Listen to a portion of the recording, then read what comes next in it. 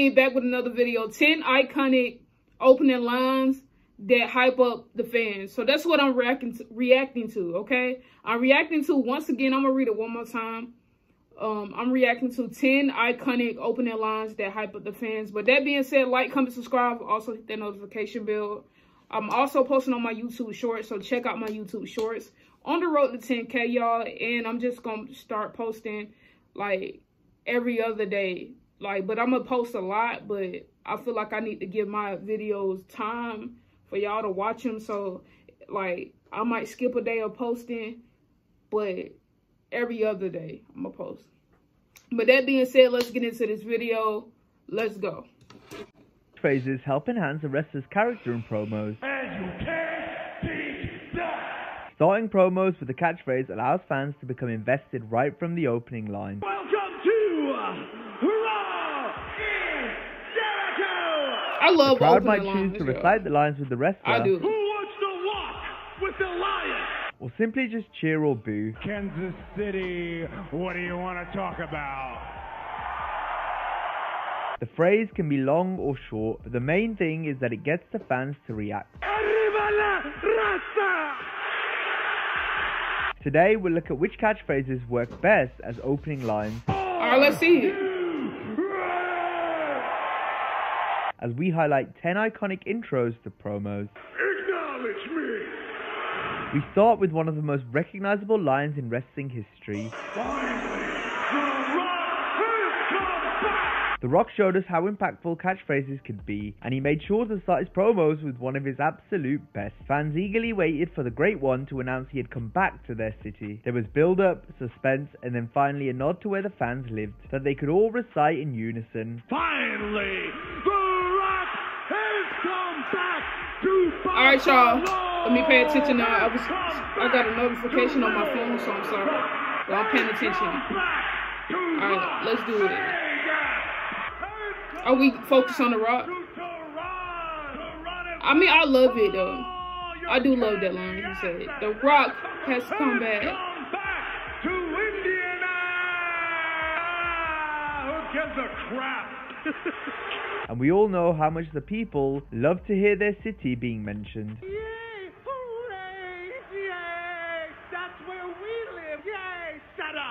Val Venis wowed fans during the Attitude Era, especially the female members of the audience. Val would acknowledge them once he got on the mic with the famous Hello Ladies catchphrase. Hello, ladies. After he said this, the camera would then pan to women in the crowd. Hello, ladies. It, pro- it probably how he's saying it. Hello, ladies. Okay, I did that. Oh, come on. I ain't do that good. Ladies. Are there any ladies in New York City? The Big Valbowski's promos mostly consisted of puns and innuendos that certainly wouldn't fly today. Cause I got more meat than your buns can handle. Puffed, rocked, and ready to unload. In fact, his persona was even too risque during the Attitude Era. Subtle message. Jumpy, jumpy, uh, beep, beep. No more. Hello, babies. As the WWF were forced to strip back his character by having him wear a shirt and tie as part of the right to censor. He later returned as the adult film star but was significantly toned down. The Hello Ladies catchphrase was one thing that didn't get the chop though. Hello. hell of an athlete in and out of the ring. Hello, ladies. Scott Hall made it cool to be the Scott bad Hall. guy, first in the WWF peace, as my Razor guy. Ramon, and then under his real name in WCW. Hall had a unique swagger and effortless charisma. Scott did numerous different things that stood out, and one of them was simply saying, Hey yo. Hey, yo, I love that Hey one. yo. Hey yo. Hey, yo. Hey yo. Hey yo. Hey yo. Hey yo. Hey yo. And it's the way he's saying it too. Hey, yo. Hey yo. Oh, it's hot Hey, yo. Hogan. I can't see. Okay, okay. Hey yo. Rest in peace to uh, Scott. Crowd signs are often a good way to tell if something is over, and it was common to see hey yo signs in the audience. Scott's promo kept a similar but effective formula. From the hey yo to the survey, the fans were always on board. Shortly after winning his first title in WWE, John Cena frequently opened his promos by telling us the champ is here. The champ is here. John, Yo, yo, yo, yo, yo, yo, yo! Hey. Yo, yo, yo, yo, yo, yo, yo, yo! The champ. That used to be my favorite as a kid. Like one of my The favorites. phrase The champ becoming a is here. staple of 'Cause John's I used to love John Cena anytime back he in held the day, the like, title, big which was time. quite often given how decorated of a career Well, I still had. love him now, but back then he was active, so he was like, The champ is her. A champ is here. The champ is here.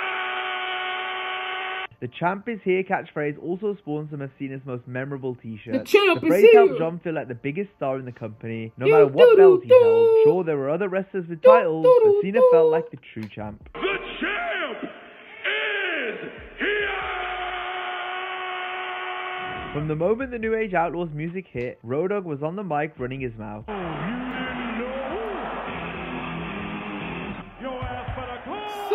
In this business.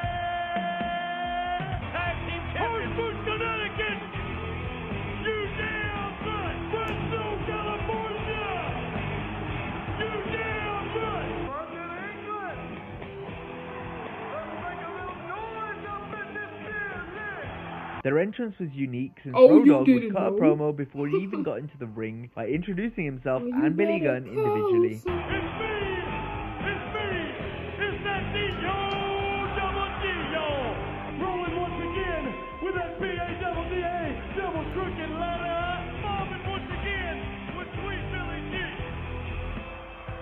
Once the music stopped, the Outlaws welcomed everyone to the doghouse. Welcome to the Doghouse!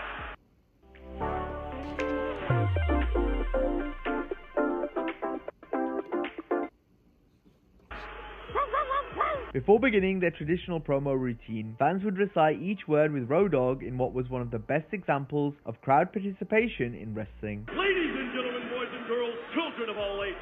Ladies and gentlemen, Ooh, that was nice too. I liked it that one. Ladies and gentlemen, boys and girls, children of all ages, D-Generation X proudly brings to you its WWF Champion of the World!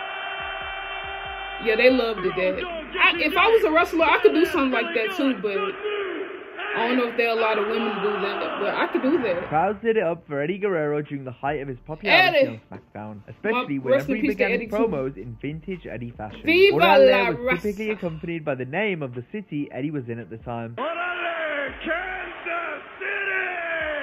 Oh, Orale, Indianapolis! Orale, Houston! Orale, Cincinnati! Orale, Las Vegas! he was going in too, Eddie. Man, I miss Eddie. Latino Heat would also shout Mi Raza anytime he was close to home. Orale, mi raza!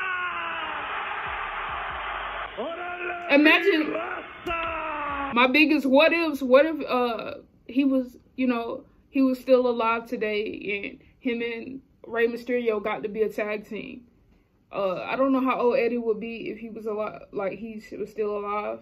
But like, I'm not saying like now, but like in years before, what if him? Well, him and Rey did be a tag team, but I'm talking about like now, like in this generation now, like how WWE is right now. I could say right now. Orale, mi raza! Eddie had a charm that drew fans in, from driving to the ring in a lowrider to greeting I the audience the when he got bro. on the, The mic to lying, cheating, and all that. stealing his way to victory. The people were with Eddie every step of the way. Orale, vatos locos, what's up, raza? Paul Heyman's second run in WWE began with what would end up becoming an iconic catchphrase that fans loved to repeat. Ladies and gentlemen, my name is Paul Heyman. My name is Paul Heyman. Yeah, I love that one.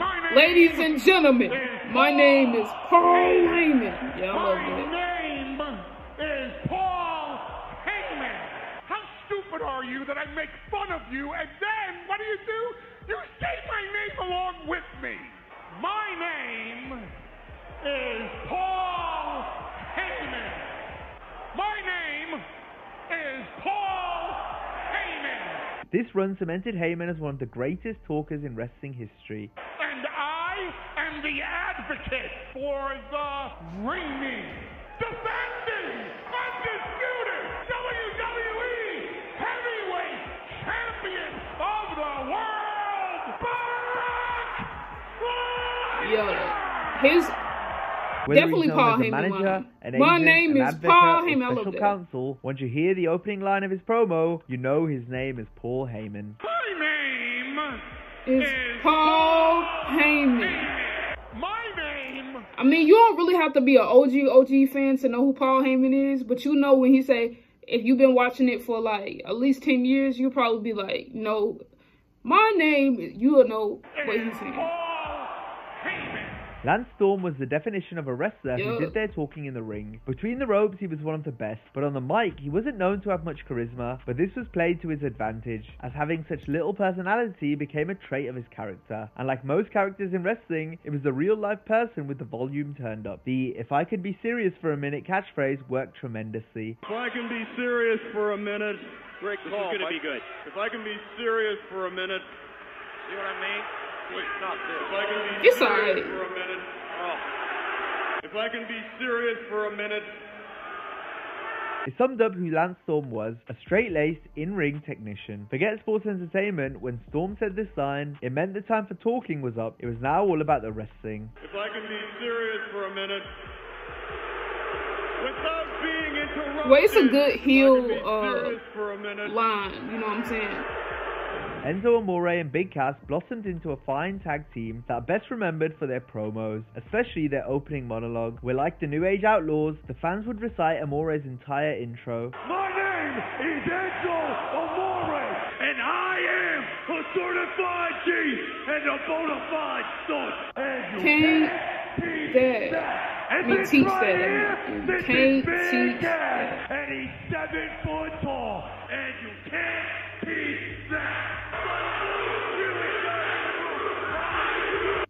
How you doing? Privacy and security I remember he had a storyline important to us with here at Nia Jax. Y'all remember because that? communication is something inherently Y'all don't mind that train. That train trying to mess up my Enzo vid, but we as well still as gonna keep during their time going. in NXT, had the audience right from the jump. This is Carmella,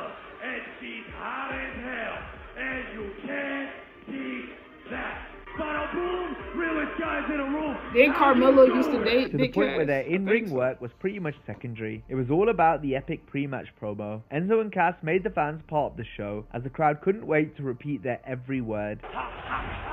My name is Enzo Amore, and I am a certified G and a bona fide son. His outfits was going hard too, though. I ain't gonna lie. Enzo, his outfit was fire.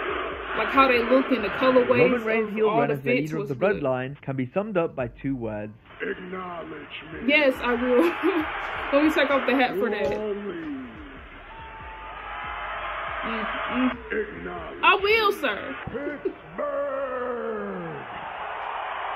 Acknowledge I already me. do. Why you keep saying this? Milwaukee. I do acknowledge you, but I gotta put my hat back on. Acknowledge me. Montreal. I acknowledge you, Roman. Acknowledge me. And the way he said it, like real deep and mad, I like that. Acknowledge me. WrestleMania. Acknowledge me.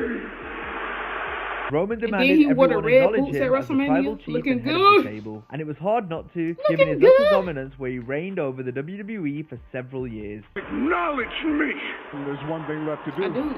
Minneapolis. We all do. But not everybody. Acknowledge me. A lot of people hate you. Those who didn't fall in line and acknowledge Roman would be banished from the island of relevancy that Reigns and the Bloodline sat atop of. Now the whole world can acknowledge me. The rest of the look. Bloodline also had a recurring intro for their promos, in which they too would mention the name of the city they were in. Grand Rapids! This man is is funny as hell, in Jimmy. your city. Cincinnati, Ohio. The bloodline is now in your city. But just like the fans and rival wrestlers, even the bloodline must acknowledge the tribal chief. You there, sitting at home. Acknowledge. I do. If you enjoyed this But video, be sure to check you out our other videos you on iconic listening. such I moves do. and taunts in wrestling. I do. Have a great day. Everybody don't, next but I do. But I ain't gonna acknowledge you after you lose the belt because you ain't gonna be on TV. No Switch more. to shop. Nah, I ain't gonna do you like that. I'ma still acknowledge you. I'ma still acknowledge Roman. I like Roman. But um yeah, y'all, that was the end of the video. 10 iconic opening lines that hype up the fans. So when you talk on the mic, like you say a one-liner that hype up hype up the fans. So well, yeah, it's not no one-liners, but it's opening lines like when you first talk, whatever you say, what's up? Atlanta, Georgia. And then everybody starts screaming. That's how I go. But that being said, like, comment, subscribe. Also, hit that notification bell. I will be posting more videos, y'all. If you have any recommendations, let me know. And I appreciate that. And I might do some more videos. I don't know yet because I do have to post on TikTok as well. So we might, like I said, um, say for example. I, I didn't post no video. I posted like yesterday. So today is Sunday. So I'm not gonna post the, the day. I'm gonna post Monday because I do have to edit. So Monday I will be posting something. Tuesday, I don't know if Ivana and I will do the podcast about Seth Rollins. If we do, that video might end up being posted to Thursday or Friday, so because I gotta edit. But that being said, y'all, like, comment, subscribe, hit that notification bells. Don't forget to watch my YouTube shorts. We're going up 2024. I need to be more consistent, and I'm going to be consistent. But that being said, I'm out. Peace. Yeah, yeah. Hop up on that couch and roll a lotto out the bag. I don't need a stylist, they can't fuck with Red.